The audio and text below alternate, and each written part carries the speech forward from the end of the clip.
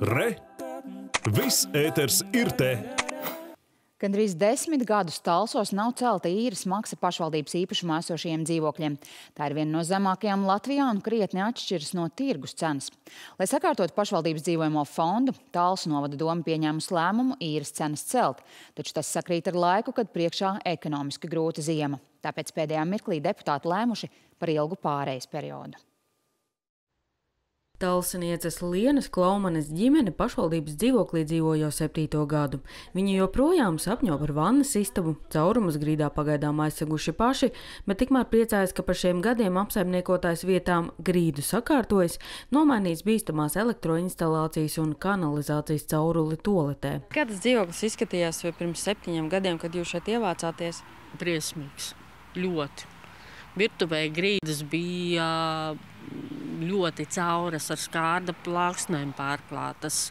Griezti melni. Pašvaldības īpašumā esošos dzīvokļus apsaimniekos ietāls un apsaimnieks, un tas jau vairākus gadus aicina pacelt noteikto īres maksu. Pašvaldība to neizdarīja. Tikmēr daļai dzīvokļu, ko īrnieki pamet, nepieciešams nevairs kosmētiskais, bet nu jau kapitālais remonts. Dzīvoklī paliek ne tikai mēbeles, kuras vairs nav izmantojamas, bet pudeļu kalni, apģērbu kalni. Apģērbu ne tikai skapī, bet tiešām istabas vidū vesels kalns. Reizēm atkritumu utilizēšana vien prasot aptuveni 1000 eiro, ko varētu izmantot dzīvokļa remontam. Līdz šim īres maksas svārstījās no 14 līdz 21 centam par kvadrātmetru atkarībā no labiekārtotības kategorijas, un šāds finansējums dzīvojamo fondu sakārtot neļauj. Tas, ko mēs izdarām, ir zem minimumu. Viņa pārnes tā nozīmē, tā varētu teikt, tā ir ugunsgrēka dzēšana kaut kādās lokālās vietās. Ja gadu laikā mēs varam nomainīt tikai dažus logus vai vienu siltumūrīti pārmūrēt, tas ir daudz par maz. Šobrīd Talsu novads ir pieņēmis lēmumu īres maksu celt. Turpmāk gan īres maksu veidos kadastrālā vērtība, tāpēc cenu kāpuma amplitūda būs dažāda.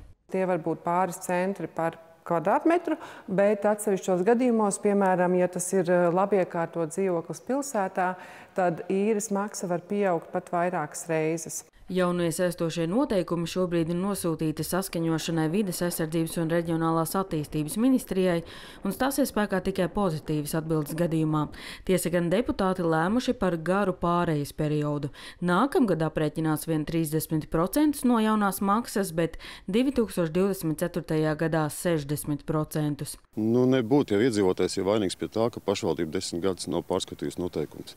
Ja tas būtu darījis laicīgi, droši vien pakāpeniski paaugstinot, tad jau būtu viss kārtībā nebūtu tik liels lēciens. Un papildu jāsaka, ka tās novada sociālais dienests individuāli strādā ar katru cilvēku, kurš ir nonācis kādās grūtībās vai sarežģītās situācijās un piemeklē attiecīgi šai personai visatbilstošāko šo palīdzības veidu. Talsu novada īpašumā šobrīd ir aptuveni 900 dzīvokļi. Neliela daļa no tiem ir sociālie, kā arī jauniem speciālistiem paredzētie īres dzīvokļi. Jaunās īres maksas ļaut ieņemt 400 tūkstošus eiro gadā, taču apzinoties, ka ne visi maksās, pašvaldība rēķinās ap 300 tūkstošiem. Lai savestu kārtībā dzīvojamo fondu, būs nepieciešami 25 gadi. Sanita Liepiņa, Girds Grenevits, TV9 pakalni.